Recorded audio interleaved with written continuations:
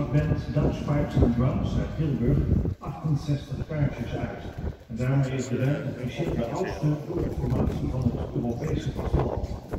Ter nagedachtenis aan de voornamelijk Britse bevrijders van de stad Tilburg in oktober 1944 ontstond de band als jeugddoedelzakband de Scotties.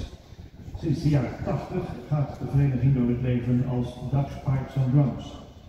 De band speelt ongewone samenwerkingen niet en trad bijvoorbeeld op met een rockband, een samba-band, blaasorkest en een symfonieorkest.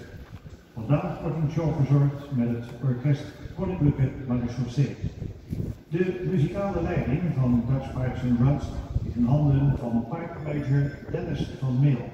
Daarnaast kunt u genieten van een dans door de Highland dansers van de band in een choreografie van Crystal Bentley.